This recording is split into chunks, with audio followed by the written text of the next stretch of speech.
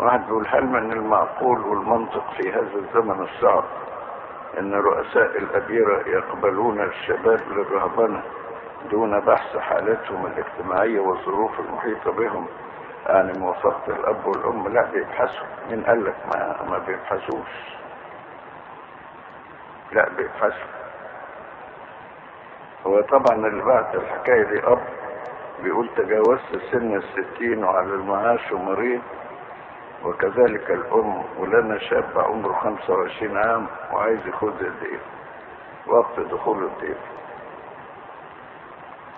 ومنذ خمس سنوات يتردد على الكنيسة والدير وكنا مرة نعرض ومرة نوافق على زيارة الدير فقط وليس تمهيد للرهبنة وهو كذب علينا ورئيس الدير يعلم ذلك. وفوجئنا بأنه ترك عمله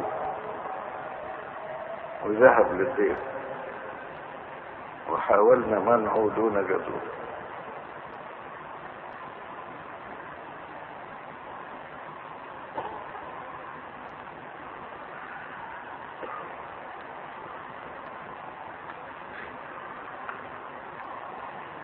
جايز ما كانش صريح مع رئيس الدير وما كلموش بصراحة وقال له أنا حكايتي كذا وأبويا مسن وأبويا على المعاش وأبويا مريض ما عادش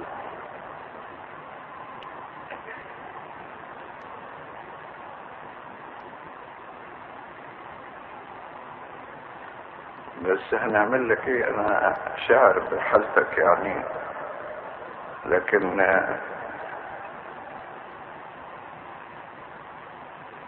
في حاجات في المحكمة اسمها بطلان زواج.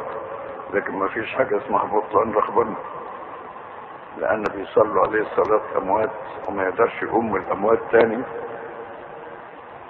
وبيندر ما يقدرش يرجع في ندوره فمعلش ربنا يدبر حياتك. لكن الحكاية فلتت من إيدينا. كنت اصول تبعت السؤال ده قبل ما يطرح